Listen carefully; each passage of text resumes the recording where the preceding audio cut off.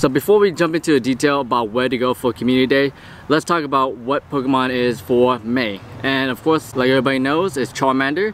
And Shiny Charmander is gold or yellow, depending on how they, you know they do it.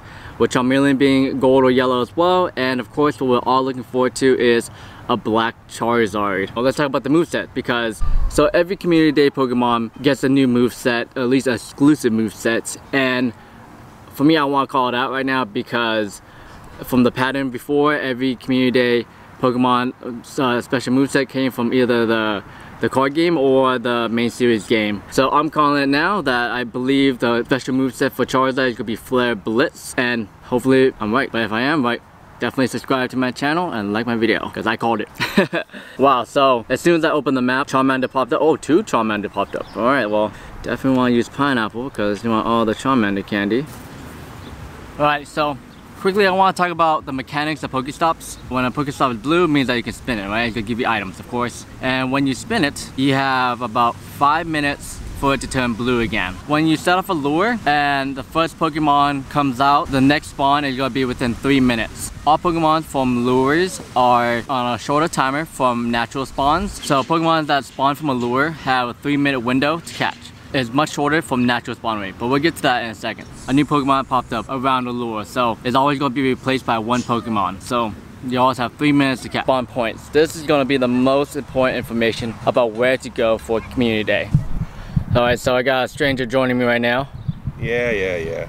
He said that there's a Blissey somewhere nearby. Over at the gym over there. I don't know if I should believe him. Well, I'll show it to you in just a second. I don't I, I bet you'll show me in a second. uh, oh no, I've got a bad feeling about this. me and mom gonna get some uh, Charmanders and uh, the last time I was here there was like two crackheads trying to like talk to me. Well, you know, I can't help it that you didn't catch it, so. Thank God I didn't catch it we're gonna get down to business. This is gonna be a little technical, so bear with me and I'm gonna go kind of fast and pretty much I'm gonna tell you about all the mechanics of spawn point. What we got here, these little blue dots, spawn point. So as you can see right here, I'm at 15, 16, 17, 18, 19, 20, 21, 22, 23, 24, 25, 26, 27, 28, 29, 30. 31. So in Hourglass Park, there's 31 spawn points. One of the most important thing about this to understand is that each spawn point has either a 30 minute timer or a 60 minute timer. One spawn point only produces one 30 minute timer Pokemon and one spawn point only produce 60 minute timer Pokemon spawns. The way how uh, Pokemon spawns is that every single Pokemon is on a timer. For the more common ones, they're on a shorter timer like Pidgeys, Rattata. So it makes them spawn more and those are considered as common ones. Those with a longer, slightly longer timer, they're called uncommon. So of course, with rare Pokemons like say like Charizard, Lapras, Snorlax, Dragonite, they're on much longer timer. So within like say a day or two days or something like that, they will spawn up at locations. Alright, and to add on to this, so Centennial Hills discovered that the Community Day Pokemon spawn rate increases by 25 to 50%. I got some friends joining me. What's up, man? How you doing? What's up, dude? You want to say hi to my channel, dude? What up? How you doing? Can you tell everybody your name? Uh, my name's Hector. All right. My daughter Natalia. Got my, my other son and my wife here playing. Got the whole family here. Yeah. Pokemon is a great game for family. Yes, it is. And what team are you? Are you guys on the same team? No, me and her are in Valor, and my wife and her son are in Mystic. Oh, so how? The, so I'm always interested about how families or like couples or like friends they always get on different teams. How did you guys choose uh, different teams? Well, I've always I've always liked Charmander, so I've always been Team Valor. She likes Articuno, so she went with Team Mystic. Okay. And, you know, to me, the teams are kind of like irrelevant when it comes to being a solo player. Yeah. Once you get more people involved, obviously it's not. It becomes a big big deal. Like the last time we did the the raid by your restaurant. Yeah. Uh, when it comes to the big community, the the teams really matter. But I, I think it's just a, matter of personal um, preference. okay, cool. Right on. So, you guys go help take down the raid over there? All right, so going to Eladio's raid right now and uh, meeting some people. Walking there as fast as I can. Oh, what's up, stranger? How are you? Hi. There's a corner hustler. I met her when she was just a noob back in the day. Now she's now she's level 40. What's your name? Herb. Herb? Alright, Mark. And Eric. Eric, okay. Come on, we gotta start, name guys. I gotta, I got the Kenpachi. right thingy Yeah, there you go. sir. Kaijin. Are you Leech? doing a private? Yeah. Nice. Tom, nice to meet you.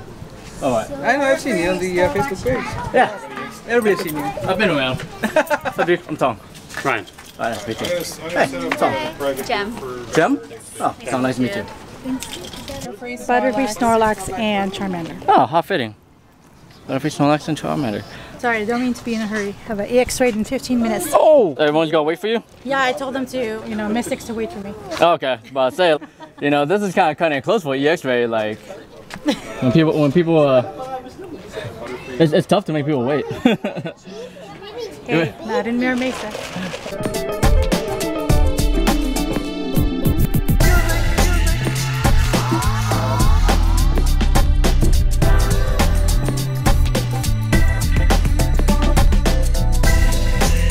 Twenty fifty six. That is about eighty nine percent.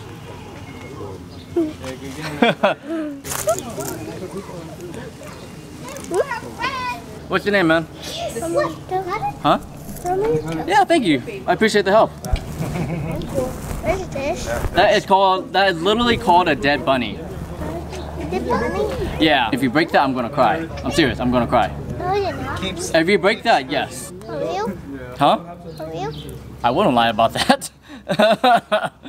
that is a GorillaPod. It helps hold the camera up from falling down. All right, still got it. The microphone. All right, so now, all right. So quickly about weather, as you can see on the top right hand corner is the sun and at every top of the hour it changes. So although when I got here it was uh, cloudy weather as you see right here, at the top of the hour it changed to sunny weather. And what, uh, what I said earlier, Discord found that during community day event, increase the community day Pokemon spawn by 25 to 50%. So the question is, does weather affect IVs for Community Day Pokemon. And in Germany, during the Dratini Community Day event, since Dratini is a dragon, it got boosted by windy weather and someone caught a level 35 100% shiny Dratini in Germany. If you live in a sunny area like in San Diego, definitely want to check the IVs for all the Charmanders you catch because it's also going to be boosted by the weather. You have a higher percentage of finding a high IV Charmander that hopefully it will be a shiny and you can evolve to a really nice black Charizard. Weather does increase the spawn rates from spawn points and we'll talk about that in a second. Alright, so how does weather affect spawn points? So all grass, ground, and fire type Pokemon is going to have priorities and the spawn point is going to favor grass, ground, and fire during the weather boost. And like I said, every hour is going to change and spawn points are affected by that. Alright, so let's talk more in detail about spawn points when we get back. I just want to quickly debunk a myth that people have about spawn points and cell phone data. The myth is that people believe that the more people around, the more cell phone data, it will increase spawn rates in the area. However, that is not true because spawn rate is only affected by spawn points. So cell phone does not increase spawn rate. It does help trigger spawn points. Say you're in a room full of like a thousand people and there's only one spawn point there. No matter how many people in the room will not it will not change anything because Pokemon's only spawn from spawn point. Keep that in mind that it's not about the people, it's about the uh, spawn points. But speaking of spawn point increase, there's some good news from a redditor online. An English player uh, posted on Reddit that he submitted Portal a few months ago and today he woke up with 10 new portals in Ingress. So they are approving portal submissions from before, meaning that we should be seeing new Pokestop or gyms popping up soon. Map, pretty much what a map does is that they uh, gather a lot of data and pretty much they you know report back so you can get see IVs, Pokestops, gyms, and raids. And all these blue dots that you're seeing right here right now are, are spawn points. And so before the maps went down, this is all the recorded spawn points that Center Hills has gathered. By my restaurant, which is on College and El Cajon, is a nicely uh, condensed spawn point area. Okay, so I know everyone's wondering, is Balboa the best place to go for Community Day?